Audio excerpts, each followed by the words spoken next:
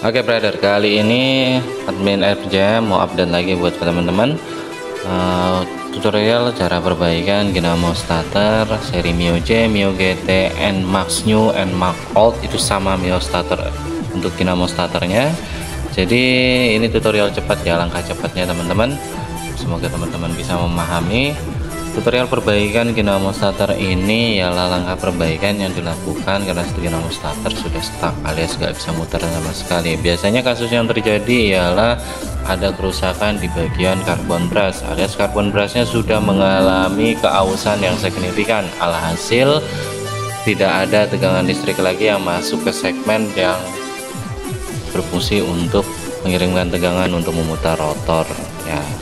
Jadi kali ini viewnya ke teman-teman untuk teknik pergantian dari carbon brush daripada dinamo starter seri Yamaha ya teman-teman ya.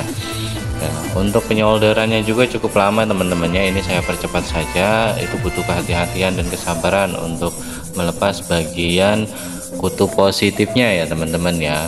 Untuk karbon brushnya itu agak sabaran karena di situ ada mika yang mudah pecah. Kalau teman-teman gak hati-hati nanti mika pelindungnya isolatornya itu akan mudah pecah. Ya. setelah dilakukan pelepasan untuk dua bagian karbon brush kutub positif dan kutub negatifnya kita lakukan cleaning ya teman-teman. Pembersihan secara maksimal menggunakan kontak cleaner.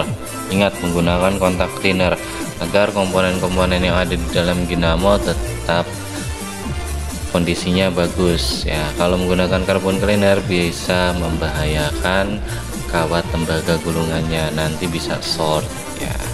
Oke setelah itu kita lap sedikit kita bersihkan baru kita kita pasang carbon brush yang baru.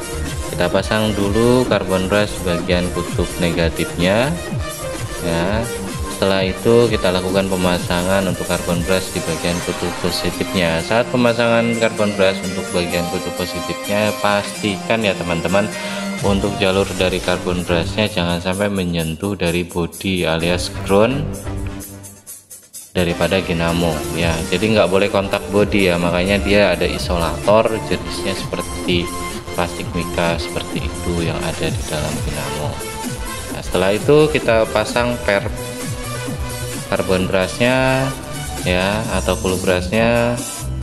Full brushnya kita standby kan di ujung per terus kita buat uh, tool kecil dari kawat untuk membantu kita memudahkan memasukkan rotor ke dalam cover daripada dinamonya ya.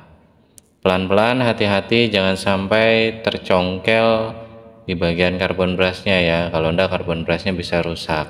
Oke di ujung daripada rotornya kita kasih grease pelumas agar tidak seret ya pada saat dimasukkan ke dalam housing magnetnya. Oke pada saat memasukkan housing magnet juga liatin tanda lurus garis lurus ya teman-teman ya agar center jadi masukkan bautnya juga enak dan posisi dinamonya tidak arahnya tidak terbalik. Nanti kalau tidak center arahnya terbalik dinamonya bisa mutar berlawanan arah. Oke setelah itu kita kencangkan bautnya. Jangan terlalu kencang karena itu baut kecil. Jadi cukup eh, secukupnya saja mengencangkan ya teman-teman ya. Oke baru kita uji menggunakan baterai ya. Kita hubungkan kutub positif dan kutub negatifnya lihat hasilnya. Oke. Jos ya teman-teman ya. Dinamonya tenaganya cukup besar. Terima kasih